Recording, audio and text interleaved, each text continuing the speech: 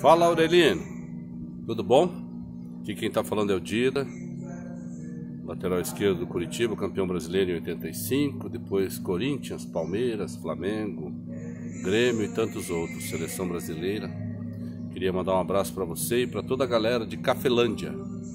Obrigado por você ser um cara aí que alegra todo mundo com as suas embaixadinhas. Fica com Deus. Um abraço. Até breve.